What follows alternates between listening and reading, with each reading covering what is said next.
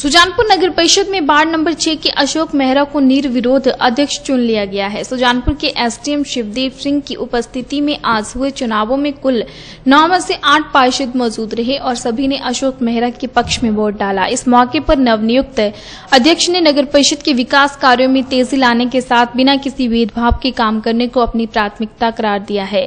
गौरतलब है कि भाजपा समर्थित नगर परिषद में ढाई ढाई साल के लिए रमन भटनागर व अशोक मेहरा को अध्यक्ष बनाने पर सहमति सहमति हुई थी, लेकिन अपनी अवधि पूरी होने के बाद भी रमन भटनागर अपने पद से हटने के नाम नहीं ले रहे थे, जिसके बाद अशोक मेहरा व अन्य भाजपा के पार्षदों ने उपायुक्त से मिलकर अविश्वास प्रस्ताव लाकर उन्हें पद से हटाने की मांग की थी, जिसके परिणाम स्वरूप सारी कार्यवाही अमल में लाई गई है। चुनावों के दौरान सुजानपुर के भाजपा मंडल अध्यक्ष रंजीत सिंह व जिला परिषद अध्यक्ष राकेश ठाकुर, महामंत्री अंकुश गुप्ता, शशिराज महाजन, सुमन गुप्ता, अनिता अटवाल विशेष रूप से मौजूद रहे।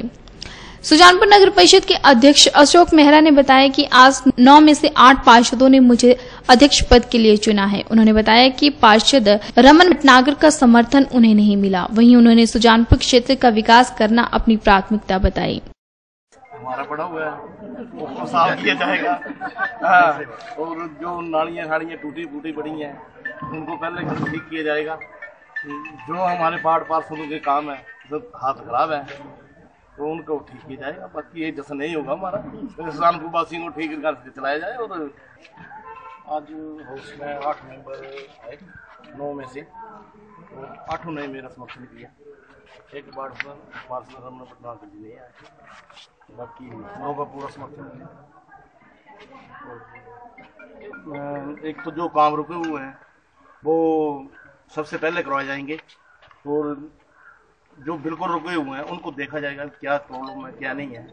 और उनका सब बैठ, पार्षद बैठ के हम, सब अब बैठ के हम उस समस्या का हल किया जाएगा और मैं सबसे पहले धूमल जी का वहीं कांग्रेस के पूर्व नगर परिषद अध्यक्ष व वर्तमान में पार्षद मनोज ठाकुर ने भी अपना वोट अशोक मेहरा के समर्थन में दिया। मनोज ठाकुर ने बताया कि उन्होंने सुजानपुर क्षेत्र के विकास व समाज सेवा के भाव से आज अपना समर्थन अशोक मेहरा को दिया है।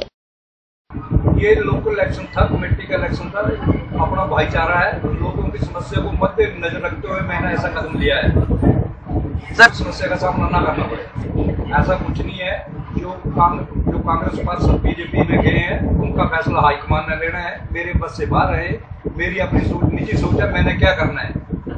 जिला परिषद अध्यक्ष राकेश ठाकुर ने बताया कि आज सुजानपुर नगर परिषद का चुनाव हुआ, जिसमें सभी पार्षदों ने अपना समर्थन दिया और अशोक मेहरा को नया नगर परिषद अध्यक्ष चुना गया।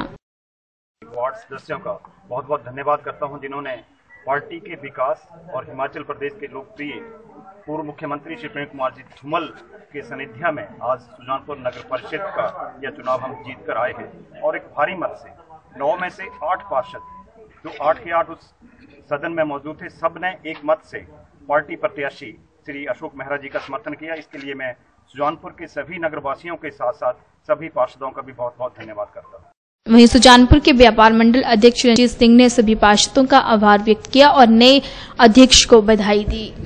उनके नेतृत्व में जहाँ भी कार्य हो रहा है वो सब जगह सफल होता है और उनके आशीर्वाद को देख करके ही सारे लोग जो हैं, एकजुट हो जाते हैं और सब उनके आशीर्वाद के लिए हमेशा उनके साथ चलते हैं। बाकी मैं यहाँ के जितने पार्षद हैं, उनका भी बहुत बहुत धन्यवाद करना चाहता हूँ कि जिन्होंने हमारी पार्टी के लिए विशेष तौर पर हमारे अशोक मेहरा जी का समर्थन किया है।